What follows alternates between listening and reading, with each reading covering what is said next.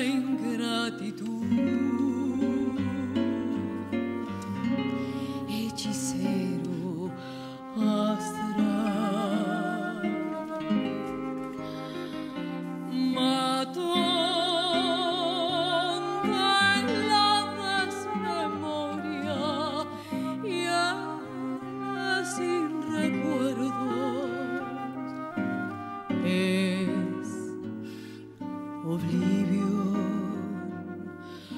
rey.